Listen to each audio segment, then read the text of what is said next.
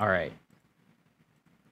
So, the agenda for today I'm going to do the intro. I'm going to tell you what hacking is. I'm going to give you some resources for practice. I'm going to explain what a capture the flag competition is, break down the different challenge categories. I'm also going to show you how to set up your hacking environment. It's going to be a pretty quick demo, but I'll be going into detail, giving you context beforehand so it makes a bit more sense when we do get to that demo.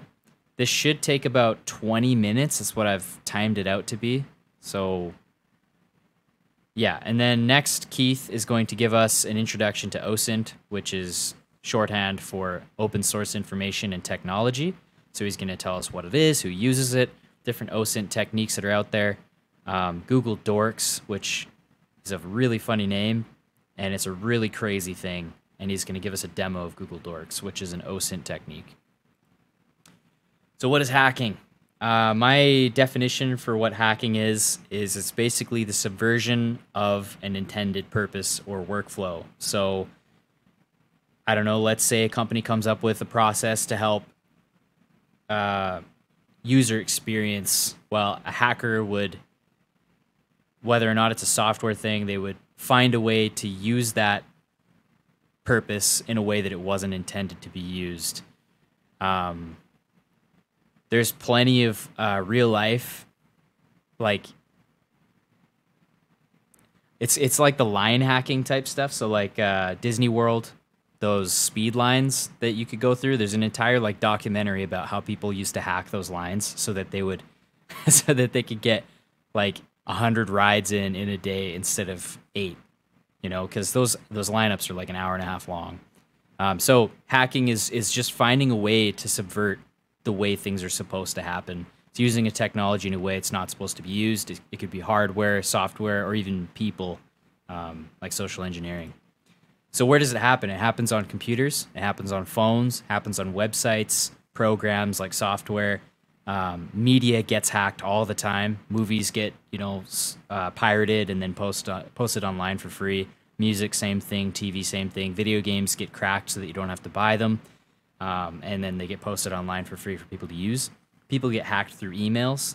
Um, you know, there's all kinds of attacks that happen through that, and people get hacked. So people get manipulated. That's it's usually referred to as conning. You know, getting conned. Um, but the industry term for it is social engineering. Uh, one thing I do want to note, though, in you know we're the ethical hacking club. We don't promote any illegal things like downloading pirated software. That kind of stuff is illegal, so don't do it. Uh, also, keep in mind if you are doing that kind of stuff that anything that is free out there is not actually free. Um, if there's there's always some kind of invisible string attached. If a hacker spent all that time pirating a movie or cracking a video game to put it online, they didn't do it because they're good people. They did it because they're probably infiltrating your computer if you download it. Um, but yeah, so that's just a little disclaimer. Free products aren't free we're the product if it's free. so, okay. Uh, one thing that, you know, if you're going to get into hacking, you're going to need to get pretty familiar with is the command line. Um, today, we're not really going to get on to the command line too much. I'm just showing you kind of what it looks like. The two pictures there. Uh, this one that says that says Kali desktop. That's uh, the terminal on Kali Linux. Um, so this is what kind of a Linux shell might look like. Um, it might not look exactly like that. This is a specific kind of Linux shell. This is the command prompt. I'm sure you've seen that before. Lots of people open it up and pretend they're hackers, but you can do lots of hacking from the command prompt. Um, every computer has some kind of a terminal or a shell. Um, in Mac, it's called a terminal. In Linux, it's called a terminal or shell or bash. Bash stands for Bourne again shell. Um, CMD is your command prompt on Windows. PowerShell's on Windows. So the compo- components of the uh, the shell is usually directories. That's something that you're looking at. Like right here, this is the C drive, the user's directory, and I've blacked out the user just because privacy. Um, commands are the things you type into the command line. Usually there's parameters that you add with the command so the command has context as to what it's supposed to be doing. And scripting is a way of automating all those different commands and uh, getting something more advanced going. So, another thing that you're going to need to get familiar with is virtual machines. Today, we're going to be downloading virtual machines to get your hacking environment started. Um, just to note for you guys is you don't actually have to, like, you don't have to be running Linux to be a hacker. You can hack on Windows. You can set up your own hacking environment, all that kind of stuff. The only reason why we recommend getting started with a virtual machine is because it comes pre-packed with tons of different tools, and it's it's it's good for you to learn another operating system and learn how that works. Um, and it can be really tricky to set up a hacking environment in Windows if you're if you're not super tech savvy yet. Uh, like, yeah, I won't get into that quite yet. So a virtual machine is basically running a computer inside your computer. Um, as this picture shows, right, this Windows machine is running a Linux and a Mac within it. Uh, Mac virtual machines are a lot harder to set up. Like if I was if I was to run a Mac VM on my Windows desktop, it you know I would need another Mac in order to do that, and that can be pretty complicated. But it's really easy to get another Windows VM on your Windows machine or Linux on your Windows machine, um, Linux VM, or a Mac, or like if you're running a Mac, you can get Linux VM on your Mac or a Windows VM on your Mac, that kind of thing. It you know it's just uh, there's there's some caveats with the more complex situations, but uh, generally how it works is you have your computer, you have your operating system like Windows or, or Mac, and then you have this hypervisor software that um, basically interfaces between your operating system and the guest operating systems, uh, which could be Linux or whatever it is, whatever the VM is. Uh, today we are going to be working with VirtualBox, but there's also VMware. Uh, personally, this is my bias. I prefer VirtualBox because you can do a lot more. It's just simpler to do like your your networking and stuff like that. Uh, your VirtualBox networking, like if you want to have a little mini lab, I'll show you mine. Um, this is what my VirtualBox looks like. I've got all these different VMs within it. They're all within their own little network, and I set up like attacker machines and victim machines that I attack, um, and they can all communicate with each other. So that's that's the nice thing about VirtualBox. I just like the way that the the networking works on it. So we recommend VirtualBox. That's how we're going to be showing you today how to do it. Um, but each has their strengths, and depending on what your computer has enabled, you might need to enable virtualization. The way to check for that is to open up Task Manager on your computer. Um, so if you have never opened Task Manager before, just hit the Windows key, search, and then type in Task Manager. It should bring it up just like this. You're going to go to, oh, actually probably looks like this when you start. So when it pops up like this, you're just going to click More Details, go to Performance, and then you know you hit your CPU, and on the right you'll see Virtualization, and in my case it's enabled. If it's disabled, we'll coach you on how to fix that. but that's it's not simple. It's not usually that simple. Uh, it, yeah, we'll, we'll talk to you about that if that's if that's the case. If it's enabled, hurrah, you can do it. You don't have to worry. Okay.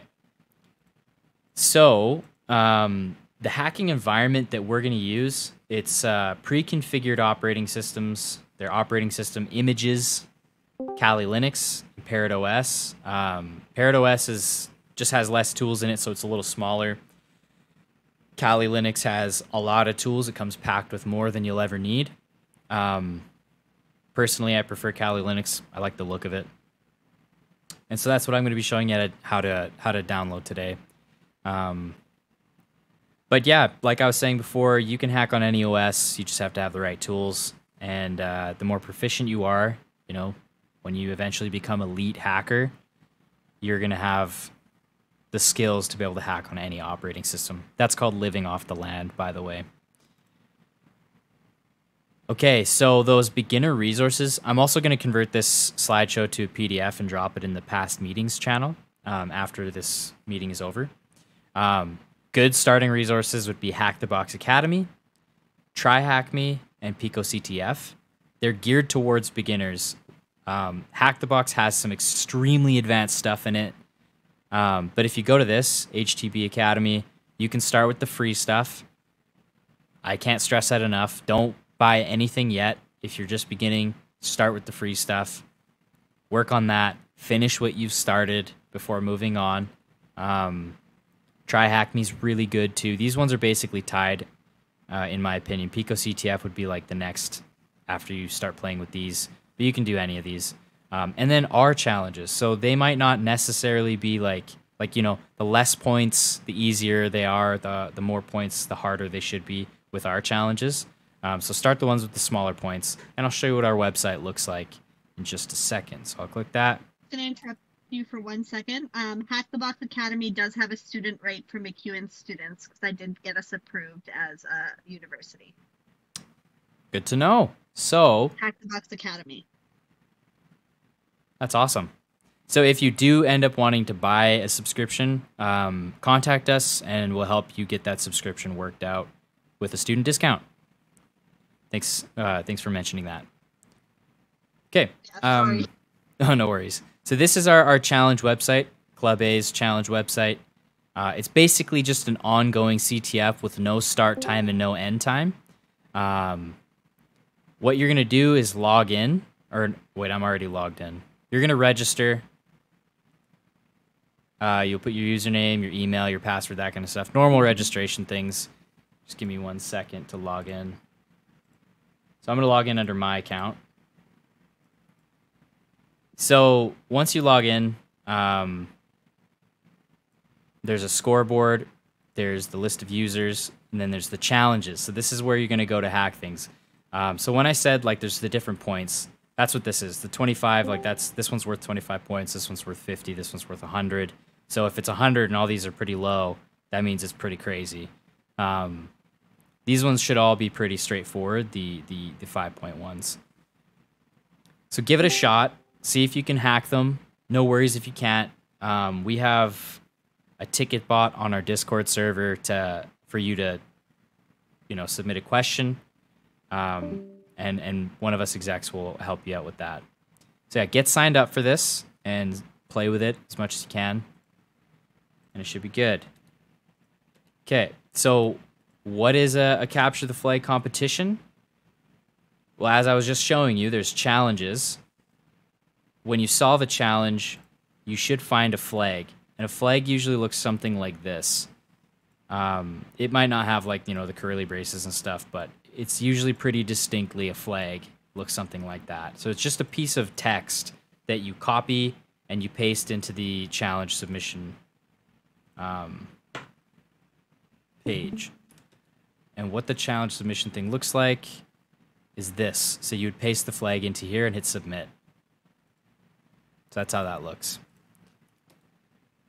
So you solve the challenge, get the flag to get points, and then the leaderboard shows you how you're doing and how everyone else is doing. And usually there's a time frame. So if you're doing a CTF, you're gonna have to make sure that you manage your time properly. Uh, and we'll give you plenty of tips on how to like navigate a CTF properly. But they are tons of fun. There's a reason why lots of people do CTFs.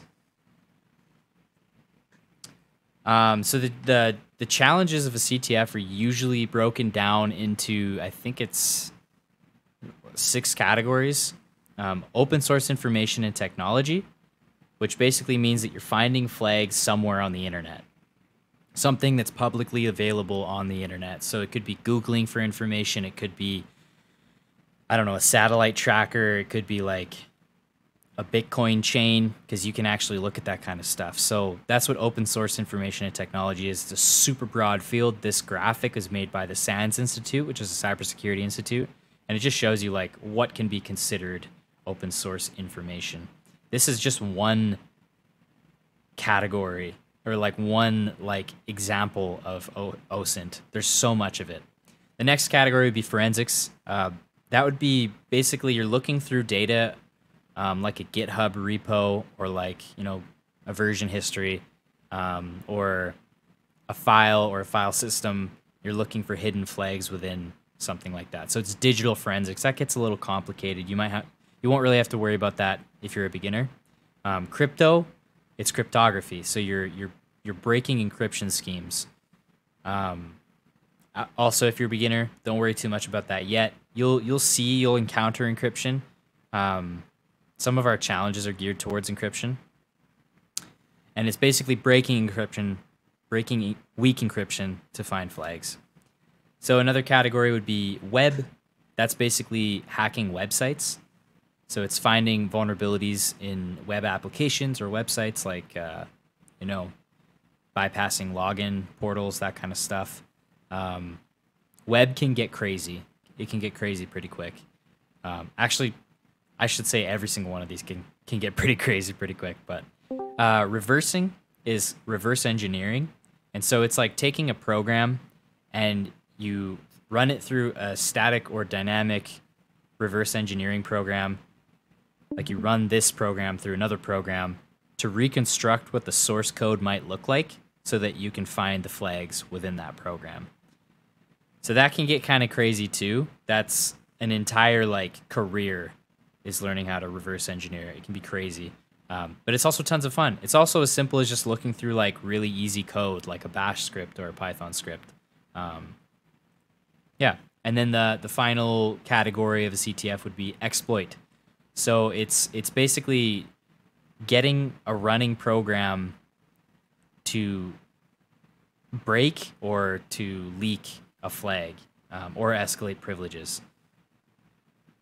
So that might not make any sense if you've never encountered that kind of a thing, but uh, yeah, I won't get too in detail with that one just because that that can get pretty verbiage pretty quick. Okay, so a recap of what we just talked about. You can hack on any computer. Uh, you just got to get your right tools together. Um, using a Linux VM is is a lot of hackers' preferred starting point, depending on what you're hacking. Um, and then these are great resources to start hacking. And these are the six categories: OSINT, forensics, crypto, web, reverse, exploit. And if you have any questions, Google's your best friend. There's a reason why we're our first thing we're going to teach you is Google skills. It's because Google's your best friend. Okay.